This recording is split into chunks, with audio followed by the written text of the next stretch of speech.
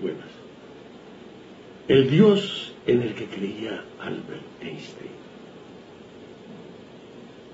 ¿Qué era Dios para Einstein?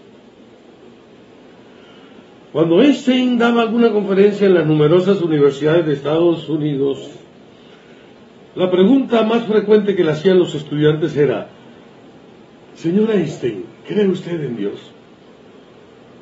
Y él respondía, creo en el Dios de Spinoza. El que no había leído a Spinoza se quedaba en las mismas.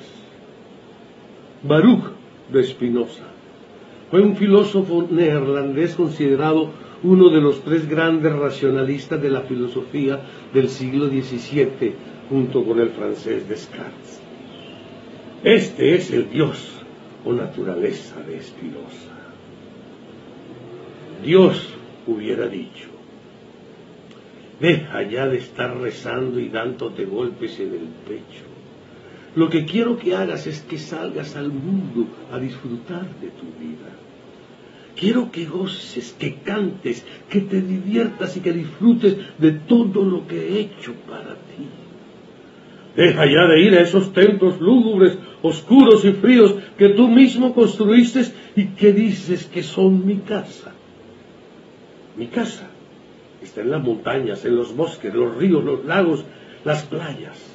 Ahí es donde vivo y ahí expreso mi amor por ti. Deja ya de culparme de tu vida miserable.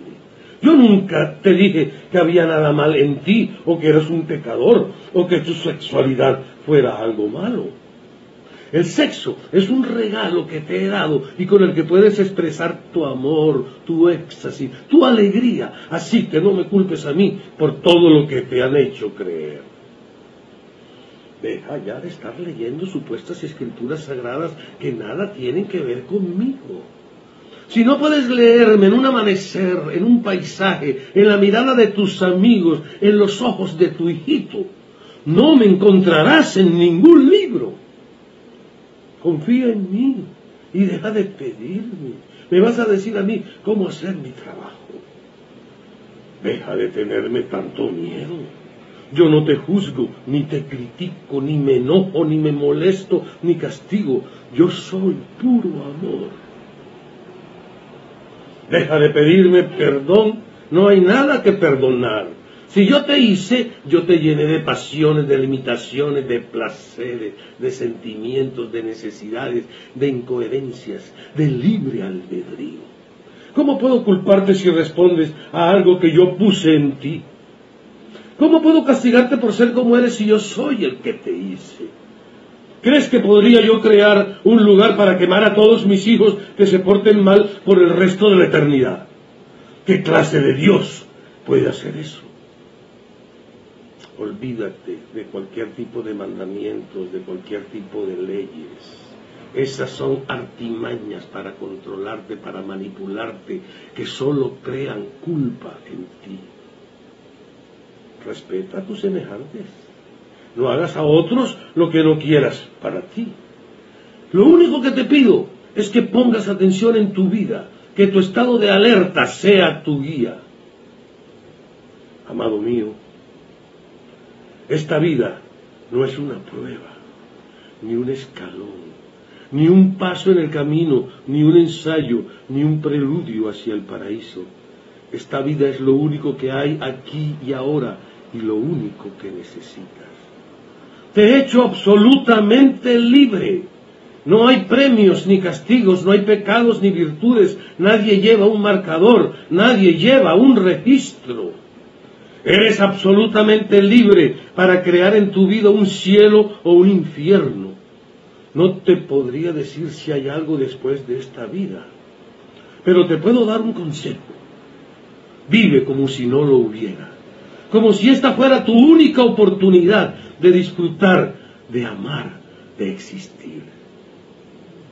Así, si no hay nada, pues habrás disfrutado de la oportunidad que te di.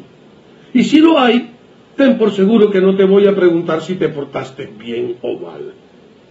Te voy a preguntar, ¿te gustó? ¿Te divertiste? ¿Qué fue lo que más disfrutaste? ¿Qué aprendiste?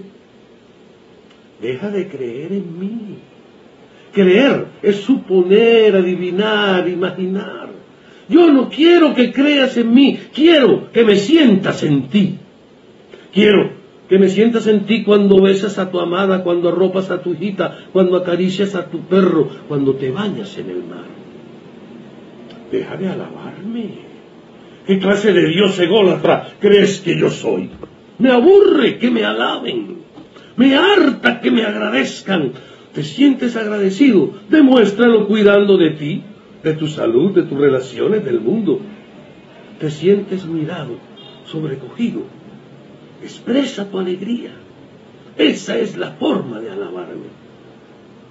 Deja de complicarte las cosas y de repetir como un loro lo que te han enseñado acerca de mí. Lo único seguro es que estás aquí, que estás vivo, que este mundo está lleno de maravillas. ¿Para qué necesitas más milagros? ¿Para qué tantas explicaciones? No me busques afuera, no me encontrarás. Búscame dentro. Ahí estoy, latiendo en ti. Baruch de Espinosa.